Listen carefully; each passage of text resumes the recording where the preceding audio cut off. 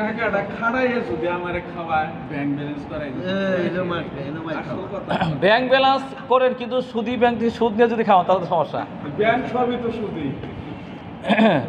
সেটাই পয়সালা আর কি না সবই সুদের মতো পয়সা আছে চালাকি সব।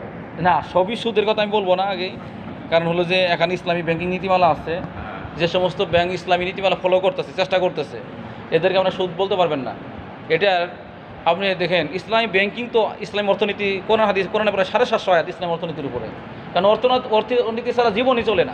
এবং কবরে হাসরের মাঠে পাঁচটা প্রশ্নের মধ্যে দুইটা প্রশ্ন হবে, সম্পদ কীভাবে আয় করছ? কীভাবে ব্যয় করছ? সম্পদ ছাড়া জীবন চলবে না। সম্পদের সুষ্ঠুপূর্ণ নীতি আছে। এবং আধুনিক বিশ্বে এগুলির নীতিমালার সাথে মিল রেখে ইসলামী ব্যাংক চালু করছে। ইসলামী ব্যাংকিং নীতিমালা, এটা কোরআন শোনা একশো বা কোরআন শূন্য মোতাবেক। কিন্তু ইসলামী ব্যাংকিং নীতিমালাটা যারা প্রয়োগ করতেছেন তারা হান্ড্রেড পার্সেন্ট প্রয়োগ করতে পারতেছেন কিনা এই জায়গায় একটা প্রশ্নবিদ্ধ আছে। কারণ কি পারবে না? কেন পারবে না? আমি আগেই বলছি কিন্তু। আপনি আমি ব্যক্তিগত জীবনে তো একশো পার্সেন্ট মুসলিম হতে পারিনি। ব্যক্তিগত জীবন একশো পার্সেন্ট মুসলিম হতে পারছি। পারিবারিক জীবন পরিবার সমাজ রাষ্ট্র। রাষ্ট্র যখন একশো পার্সেন্ট চলবে তখন পরিবার একশো পার্সেন্ট চলে আসবে সমাজে চলে আসবে সব চলে আসবে। রাষ্ট্রীয় জায়গা থেকে যখন সিদ্ধান্ত আসবে যে এটা সুদ মোতাবেক হবে না হ্যাঁ ইসলামী ব্যাংকিং নীতিমালাগুলি তারা সরিয়া বোর্ড আছে বাংলাদেশ ব্যাংকের সাথে লেজও আছে ওরাও মনিটরিং করে সুদ ভিত্তিক যাতে না চলে। হ্যাঁ যে সমস্ত বিনিয়োগের মধ্যে সুদ ঢুকে যাইতেছে আছে যে সুদ ঢুকে। হ্যাঁ হ্যাঁ। সুদ ঢুকে। ওই বিনিয়োগগুলি ওই টাকাগুলি আলাদা ফান্ড করছে তারা ফাউন্ডেশন করছে একটা।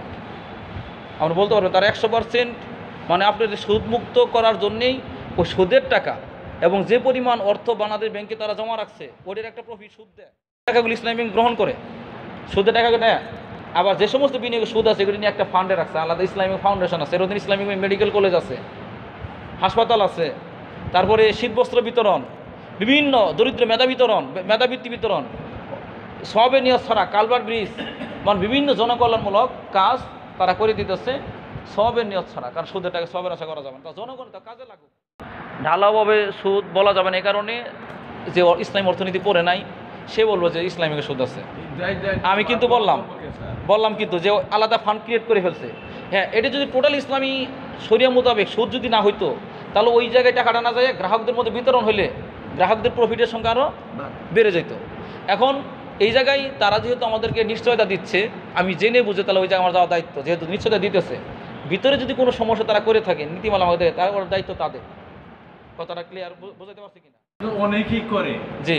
যে ব্যাংকের টাকা রাখছে আমি নিরাপত্তার জন্য সরকার কি করতেছে না করতেছে না আমরা জানা দরকার আছে।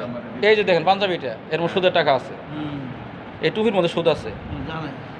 হ্যাঁ কোনটা এটা পরোক্ষ সুদ? প্রত্যক্ষ সুদ যেটা আমি ডাইরেক্ট বিনিয়োগ করতেছি অনেকে টাকা লাগাইতেছে। পরোক্ষ সুদটা কেমনি? এই যে ফ্যাক্টরি গার্মেন্টস এই পাঞ্জাবির কাপড় বানানোর আগে ব্যাংক লোন নিছে।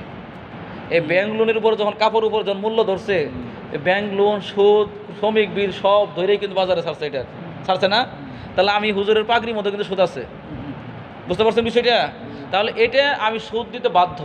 এটা পরোক্ষ সুদ, রাষ্ট্রের ব্যাপার এটা। তা রাষ্ট্রে কী করতে হবে? তাহলে ওই জায়গায় সুদমুক্ত করতে হবে। এটা আমার ক্ষমতার বাহিরে, কিন্তু আমাকে চেষ্টা থাকতে হবে যে এমন লোককে এখানে সেটিং করা এই করার চেষ্টা।